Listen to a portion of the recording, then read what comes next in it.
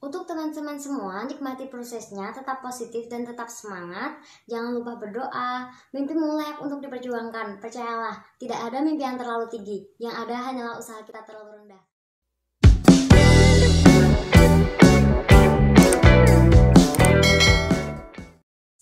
Mari kita dengarkan curhatan dan ucapan semangat dari mereka lulusan angkatan tahun ini di seluruh tanah air.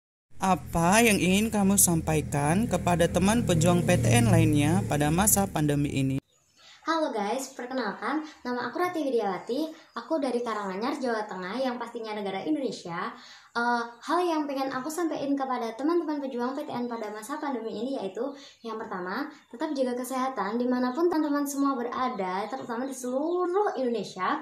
Yang kedua, tetap semangat belajar. Yang ketiga, Buat kalian yang masih mas-masan belajar, ayo bangkit.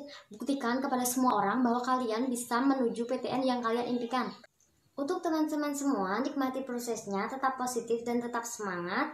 Jangan lupa berdoa. Mimpimu layak untuk diperjuangkan. Percayalah, tidak ada mimpi yang terlalu tinggi. Yang ada hanyalah usaha kita terlalu rendah. Bye-bye, semoga berhasil. Semangat!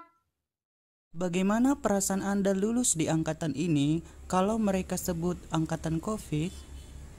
Assalamualaikum warahmatullahi wabarakatuh. Perkenalkan, nama saya Andina Ivana Ila Asal sekolah SMA Negeri 6 Baru. Pesan saya kepada seluruh teman seperjuangan Angkatan 2020 Kita semua harus tetap kuat dan semangat. Walaupun di luar sana Banyak yang mengatakan kita ini angkatan corona Kita ini angkatan yang tidak pernah merasakan namanya perpisahan Atau dan lain-lain sebagainya. Biarlah mereka dengan opininya Fokus kita hanyalah bagaimana cara kita untuk bisa mencapai target kita, bagaimana cara kita untuk bisa mencapai tujuan kita, dan bagaimana cara kita untuk bisa meraih impian kita di masa pandemi ini. Karena sejatinya, di mana pun kita, siapa pun kita, dan angkatan berapapun kita, kita tetaplah calon generasi penerus bangsa. Untuk teman-teman seperjuangan, percayalah, di balik semua ini akan ada hal-hal indah tetap semangat. Apa harapan Anda pada masa pandemik ini? Halo, Assalamualaikum. Perkenalkan, nama saya Yuke Yolanda, berasal dari SMA Negeri 2 Sumatera Barat. Harapan saya pada masa pandemi ini, walaupun kini kita tamat dengan kondisi yang sangat jauh berbeda dari sebelumnya, semoga teman-teman tetap teguh dan istiqomah dalam belajar, belajar, dan terus belajar agar semua cita-cita teman-teman menjadi terwujud. Jangan jadikan masa pandemi ini sebagai masa untuk bersedih, berenung, bermas-masan, ataupun bermager-mageran. Kita harus memikirkan bagaimana supaya kualitas pendidikan di Indonesia meningkat dari tahun ke tahun. Maka dari itu, ayo semangat! Corona tidak sekejam yang kamu pikirkan. Hai semua, nama saya Rama Safia dari SMK Yadikanatan. Perasaan saya menjadi salah satu murid angkatan lulusan jalur COVID itu sangat menyedihkan. Karena di daerah saya sendiri sudah melakukan ujian nasional, namun kami tidak bisa menerima hasil itu. Kami sudah berusaha dengan maksimal untuk melakukan semua ujian itu, namun tidak dapat melihat hasilnya.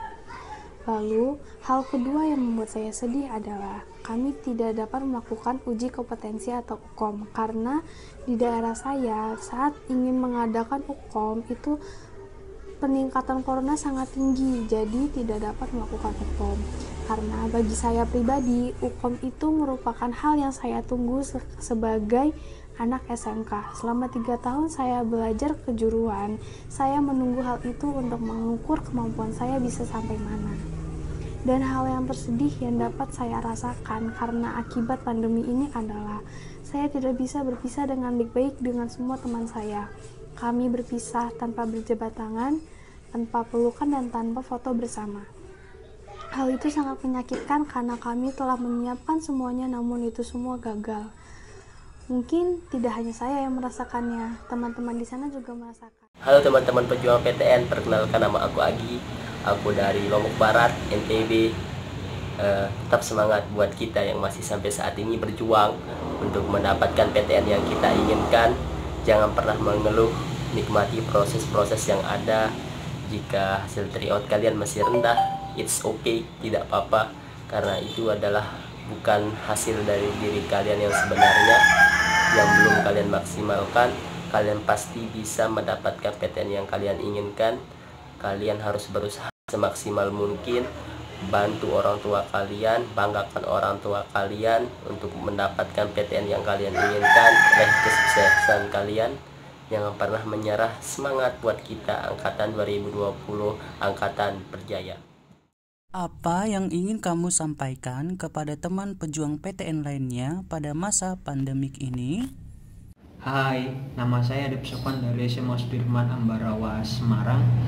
Kalau ditanya tentang harapan saya di masa pandemi ini ya semoga aja cepat berlalu supaya kita bisa menjalani kehidupan seperti biasa. Dan yang mau kuliah bisa keterima di kampus impiannya, yang mau kerja bisa dapat pekerjaan cepat, yang mau usaha juga bisa lancar usahanya.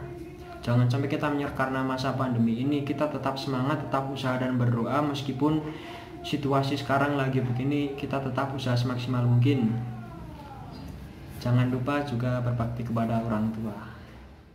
Halo teman-teman seperjuangan, waktu kita ke UTBK tinggal satu bulan lagi loh. Jadi belajarnya digiatin lagi ya, jangan ambil kendor. Ingat yang masuk PTN itu bukan orang yang bisa, tapi orang yang yakin. Karena orang yang yakin itu selalu berjuang untuk yang ia cita-citakan. Jadi kita harus yakin kepada diri kita sendiri bahwa kita bisa sehingga kita selalu semangat untuk belajar. Oke. Tetap semangat, semoga kalian lulus dengan doa, usaha, dan restu orang tua. Tuliskan curhatan dan ucapan semangat kalian di kolom komentar video ini ya adik-adik.